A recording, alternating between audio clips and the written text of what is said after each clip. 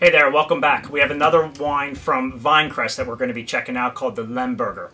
What I really think is cool about this particular wine, and maybe even this whole video, is the fact that when I spoke to Sam Landis, um, the owner uh, and winemaker up at uh, Vynecrest, he made it a point to tell me that the wines he wanted us to try were wines indicative of both his particular vineyard and wines that are very much attributed to Pennsylvania and what Pennsylvania does pretty well. Um, he was really proud of this particular wine, and he really, really made it a point to send it to us and ask us to try it. So, typically I think a lot of people think I'm rah-rah for every single Pennsylvania wine that gets sent to us, but uh, my partner in crime, the guy behind the camera, Bill, came up with a great idea, and he says, you know what, let's just uncork it, drink it, and shoot it right away. And that's exactly what we're doing right here, right now.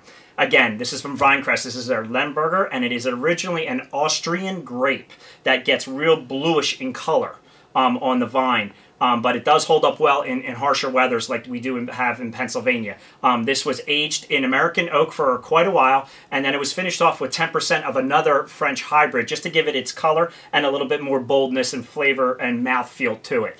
Um, it, it, it, it looks great.